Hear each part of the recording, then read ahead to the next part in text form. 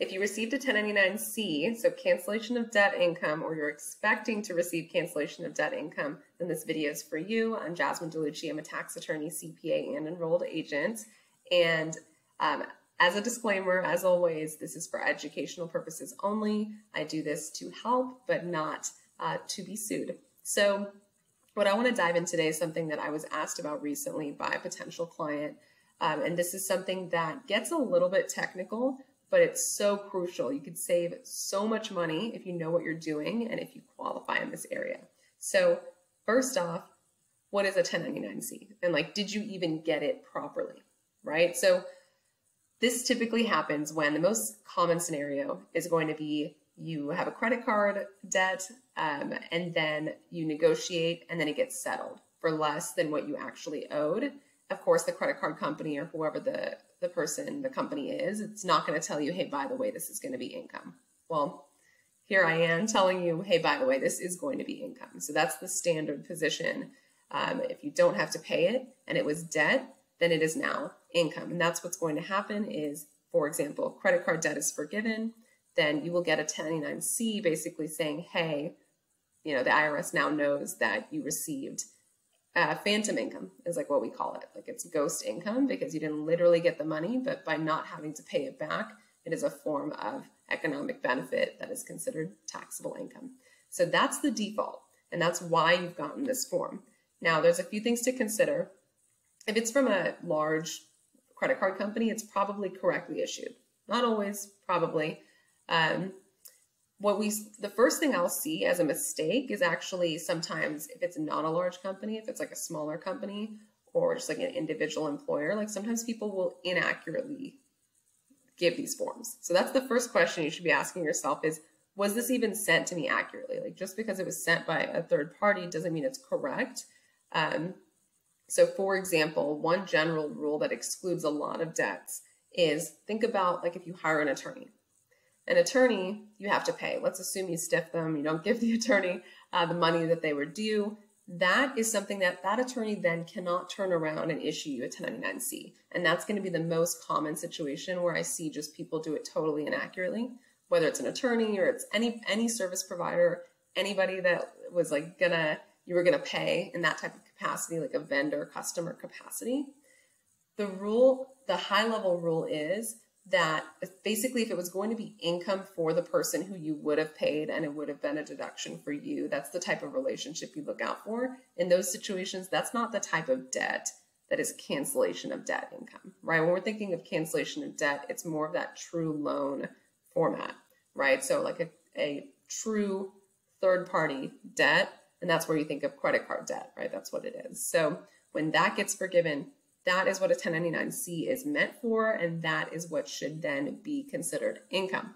And so I've got this pulled up on the screen where it's very simple form. It's very similar to like a 1099 NEC. It's just slightly labeled differently. And then this another common situation where I'll see these improperly issued is cancellation of debt income on the wrong form. So maybe it's on a 1099 NEC. So what we're truly looking for is is is a cancellation of debt income, like that true economic substance. If it's mis uh, put on the wrong form, then the IRS still would consider it like true cancellation of debt income if it's following the, the statute. So that's the first thing we're looking for. Do we really have cancellation of debt income? Because what's great about cancellation of debt income is that it operates under different rules, and sometimes this can be really favorable for you. So, like I said, the default taxation is going to be it's taxable. And that's basically what it is. Now, the very large exception is if you're insolvent. And this is going to be the one that it wouldn't necessarily be like common sense unless you talk to someone in the tax profession. So this is the form that we go to. It's form 982. And whether it's you prepping your return or even if you're hiring someone, don't assume that the preparer knows about this or knows whether you qualify. Um, this is something you want to be looking out for. So what it is, is it is there's basically several different scenarios. You can even go to the instructions page, right? But you see them here. These are the scenarios. Like you, you basically have to um, you have to qualify under one of these scenarios to then exclude the 1099-C uh, from taxable income. So it still needs to be on your return. Always put on your return. But then this form is basically going to say, okay, yes, this was income, but because I qualify under X, Y, or Z based on this form, um, I'm going to, it, it's not going to be taxable. Okay, so some of the more default common sense ones would be like if you filed certain types of bankruptcy. Um, but the one that most people qualify for because um, is going to be that you're considered insolvent. So discharge of indebtedness to the extent insolvent. So the to keep I always try to keep these videos simple. So to keep this simple, insolvent is essentially comparing what are my assets and what are my liabilities, right? Um, and and it's going to say if I have more liabilities than I have assets, typically you're insolvent. And then it's not just whether you're insolvent, so it's not a threshold question. It's also a question of by how much am I insolvent? And you'll notice here how it said discharge to the to the extent insolvent.